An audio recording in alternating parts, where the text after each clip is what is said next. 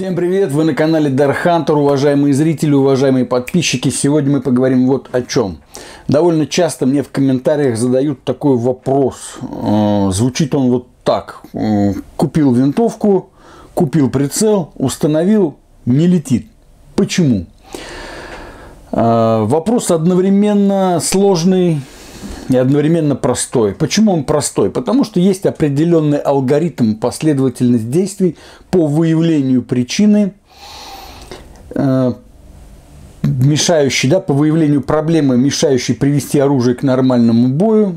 Следуя этому алгоритму, все решаемо. Почему вопрос сложный? Потому что иногда уважаемые зрители и подписчики нашего канала решают задать мне его в 2 часа ночи по видеосвязи по WhatsApp, да, и вот просыпаясь в два ночи, когда тебя спрашивают, почему не летит, ну, наверное, именно в это время этот вопрос сложный. Друзья мои, пожалуйста, учитывайте часовые пояса. Итак, сегодня мы будем с вами говорить даже не о приведении оружия к нормальному бою, а о проблемах, а, возникающих при этом, об основных вопросах, э, о причинах, приводящим к этим проблемам, и о способах их устранения. Вот знаете, я из себя никогда не корчил высокоточника, я не спортсмен. Я из себя никогда не корчу суперснайпера. Хотя, знаете, в военном билете у меня есть запись да, о том, что разведчик-снайпер, но то, чем мы занимались снайпингом, было назвать реальным очень сложно, с большой натяжкой можно было назвать. Скорее, я больше разведчик, чем снайпер был в свое время. Но, но, друзья мои, я все-таки хочу сказать так. Я довольно-таки уверенно стреляю на охотничьей дистанции 300 плюс. Я неплохо стреляю с рук из нарезного оружия. И поэтому, наверное, все-таки имею какое-то моральное право дать несколько советов. На самом деле проблем, мешающих привести оружие к нормальному бою, их не так много. Вот э, вопросы от зрителей, как правило, делятся на три категории. Сейчас я их озвучу, но давайте сразу определимся, что мы все сегодня рассматриваем в отрыве от трех факторов. То есть первое стрелок, да? Естественно, оружие пристреливать должен, в моем понимании, сам владелец оружия. Это в идеале, конечно же, но ну, иногда владелец оружия неопытен, и действительно ему будет полезнее, если это сделает специалист. То есть, ну, имеем в виду, что вкладка должна быть единообразная всегда. Вот этот фактор исключаем. Дальше. Исключаем фактор боеприпаса. Мы должны помнить и понимать, что пристрелку и там охоту или спортивную стрельбу мы должны производить одним и тем же боеприпасом одного и того же производителя, если мы говорим о магазинных боеприпасах, с одной и той же пулей, с одним и тем же типом весом пули, то есть одним пристреляли, одним охотимся. Просто многие и этого не понимают. Они считают, что вот они пристреляли пули, например, 9,2 грамма, и считают, что и как бы и 10,1 тоже полетит нормально. Нет, это не так. Если мы собираем патрон сами, то мы принимаем во внимание как условие сегодня, что собирали мы с одной навеской пороха и с одной пулей. Ну, хотя, наверное, тот, кто собирает патроны, для него это видео будет уже не так важно и интересно. Да? Больше это видео касается начинающих владельцев оружия, но и тем, кто опытен в этом деле, я думаю, посмотреть тоже не помешает. Третий. Давайте исключать фактор погодных условий, метеорологических. Да? То есть, ну, как правило, оружие приводится к нормальному бою на 100 метров, где сила ветра, влажность, освещенность, температура, наверное, в какой-то мере, еще не такое решающее значение имеют. И вот эти три фактора мы исключаем. То есть фактор вкладки, фактор боеприпаса и фактор влияния погодных условий. Итак, Первая проблема, о которой пишут зрители. То есть, вот человек пишет, пристрелялся на стрельбище, пошел на охоту, лось, стреляю, не попадаю. Выхожу на поляну, ставлю там кусок картона, достаю из багажника, стреляю, пуля летит там на 70 сантиметров вниз. О чем это может говорить? В первую очередь это может говорить о том, что сбился прицел. То есть, либо владелец оружия пока ехал со стрельбища, либо пока ехал на охоту, как-то где-то зацепил прицел и ударил его. Возможно, в багажнике, возможно, переодевался, когда прислонил к машине, там оружие упало, винтовка на пень, там карабин, да.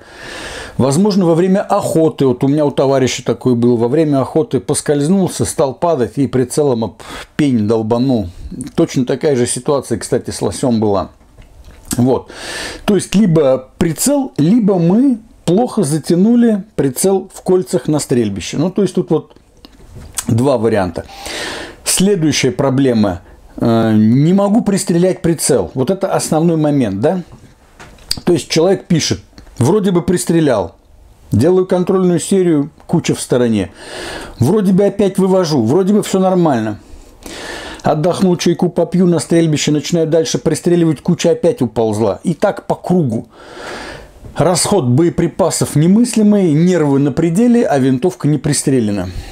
Опять-таки, первый да, вопрос. Это кирдец прицелу, возможный вариант. Второй вопрос. Это, ну, как я уже говорил, то же самое. Прицел ползет в кольцах, то есть прицел плохо затянут. Как это понять? Да, мы вообще видим, если прицел ползет, на трубе будет кольцевая, кольцевой след, да, то есть повреждение краски прицела. Колечком будет видно, что прицел сместился, если он не затянут. Дальше. А, плохо может быть прикручена планка к ресиверу, либо, либо она открутилась. У моего товарища один раз такое было, один винт, который притягивал планку к ресиверу ослаб, и вот был именно такой результат. СТП постоянно гуляла. Следующий момент. Может быть, если у вас установлен ДТК, проверьте его затяжку. Также себя иногда винтовка ведет, когда ДТК э, откручивается. Э, ну, разные бывают, да, вот, вот этот конкретно у меня никогда не откручивался, но вот э, у кого-то бывают и такие моменты. Третья проблема, о которой пишут зрители, это, как правило, вот э, комплекс, да, винтовка прицел просто по мишени сыпет, никакой кучи собрать не может. То есть тут тоже есть возможные причины. Первая причина, вы купили БУ оружие, с вашей винтовкой, с вашим карабином охотился какой-то матерый горный охотник, он облазил уже да, все горы и скалы нашей Родины, а также ближнего и дальнего зарубежья, перестрелял всех турок, перебил всех козерогов. Стрелял он а, вот такими горячими патронами 950 плюс скоростью, да. Все нарезы давным-давно он сточил, стер, слезал, да, как еще сказать. И вам продали по факту гладкоствольную да, винтовку, которая только попадает под перествол. Попасть из нее никуда нельзя.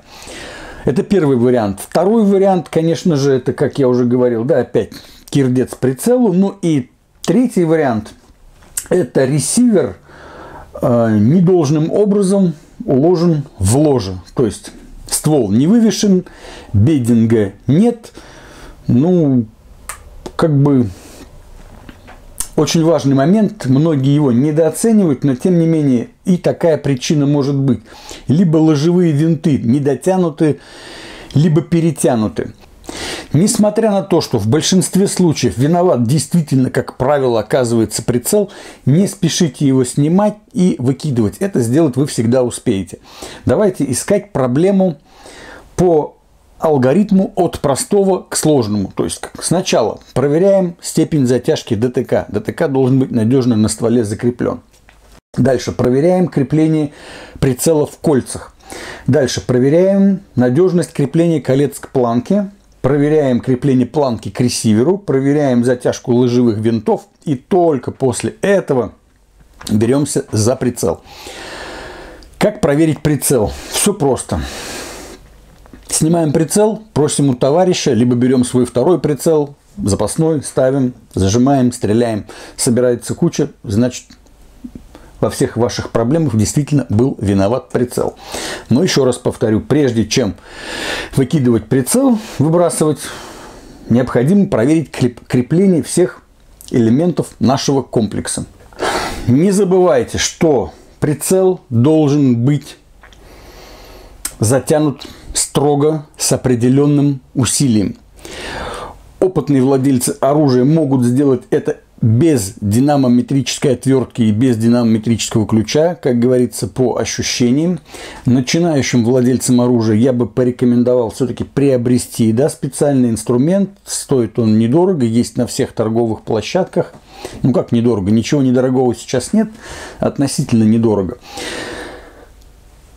каждому оружию в инструкции да, написано, как должно быть, с каким усилием затянуты передние и задние ложевые винты. Э, каждому прицелу кольцам есть инструкция, должно быть написано, с каким усилием затягиваются винты колец крепления прицела. Э, планка. Да, кольца, давайте так, кольца. Кольца, естественно, покупать лучше какого-нибудь да, именитого производителя. Э, Кольца нужны хорошие. Почему? Это избавит вас от многих хлопот. Покупаем дешевые кольца, мы должны проверить соосность их установки. Прицел должен в кольца лечь. Ни в коем случае не надо его туда вдавливать. Да? То есть кольца бывает при установке, ну, косят да, относительно друг друга. Тогда что мы делаем? Во-первых, мы их проверяем да, конусами, проверяем так, проверяем так, укладываем, чтобы не было никаких ступенек, чтобы конуса совпадали – для этого есть специальные приспособления для проверки. Если не совпадают, берем притирочную для клапанов пасту, берем вот такой соответствующий диаметру вашей прицельной трубы и вот такими вот движениями да, обрабатываем поверхности колец, в которые у нас укладывается прицел. Только после того, как пятно контакта будет максимально широкое, устанавливаем прицел. Верхние кольца я никогда не притираю. Кто-то полукольца и их притирает, я их никогда не трогаю. Главное, чтобы прицел хорошо лежал. Планка. Планка должна быть качественной, от хорошего производителя. Бывает ну, кривоватенькие планки, если честно уж говоря, да, поэтому планка должна быть нормально, мощно притянута, винты на синий лактайт, планка хорошего производителя. Что еще сказать? ложевые винты и укладка ресивера да, в ложе. У моего товарища, хорошего знакомый, купил карабин Ремингтон. Новый, абсолютно. Начинает стрелять. Куча на 100 метров, 2 МУА. Но не для этого люди покупают болтовую винтовку. Согласитесь, чтобы 2 МУА на 100 метров новый, новая, новая винтовка, да, новое оружие. Чуть не плачет человек. Что сделали? Сделали бединг на винтовке. Бединг мы можем сделать full бединг, да, то есть мы укладываем на девкон, выбираем дремелем, да, там, дерево, пластик, царапаем, да, вы, выцарапливаем, как мой товарищ говорит, и укладываем на девкон. Либо мы ставим ресивер на втулке, пилар бединг, либо мы делаем и то, и другое, full бединг, да, то есть бывает пилар бединг, сток бединг и full бединг, когда у нас все уложено. Ну, для спортсменов это важно, для охотников ну, не критично. Что? Сделали товарищу бединг, винтовка стала стрелять 0,7 МУА, то есть куча с 6 сантиметров сжалась до 2. Делайте выводы. Так вот, давайте подведем какие-то итоги и сделаем выводы. Да? Как я уже сказал, в 90% случаев действительно виноват, ну, как правило, прицел. Либо он с браком попал, либо виноват хозяин прицела, да, который долбанул его об что-то. Но в любом случае в 90 95% причина это, конечно, прицел. Но поменяв прицел, э, вы можете, начав с прицела, вы можете оказаться в такой ситуации, когда у вас будет два исправных прицела, а у вас просто винт открутился. Поэтому строго соблюдаем алгоритмы. Что еще? Ну, кто-то вот сейчас скажет, напишет в комментариях, да нахрена мне все это надо, я простой охотник, стреляю на 100-150 метров, в ведро попадаю и ладно, в лося попаду. Ну, конечно, имеет место быть такое отношение к своему оружию, но я думаю, если уж мы покупаем нарезное оружие, болтовую винтовку, все-таки, наверное, комплекс мы свой должны подготовить таким образом, чтобы полностью исключить оружие в каких-то да, негативных проблемных моментах. То есть, чтобы если мы на соревнованиях или на охоте мы промахнулись, у нас не было мыслей о том, что нас подвел наш стрелковый комплекс. Мы должны подготовить свой комплекс таким образом, чтобы при промахе мы четко понимали, что это виноват я, только я и никто другой. Как я уже сказал, нарезное оружие у нас для того, чтобы стрелять точно, а для того, чтобы стрелять точно, надо стрелять точно. Вот на этом, друзья мои, наверное, мы и будем заканчивать этот ролик. Всем спасибо, что вы были с нами. Спасибо, что вы смотрели это видео. Я все-таки надеюсь, я точнее даже, можно сказать, уверен, что оно будет полезно для очень многих владельцев оружия, особенно для начинающих. Кто не подписан на наш канал, не забываем подписываться, не забываем э, переходить в нашу группу в Телеграм, переходите на нашу площадку на Яндекс.Дзене. В Телеграме у нас больше общения, больше примеров, больше обсуждения.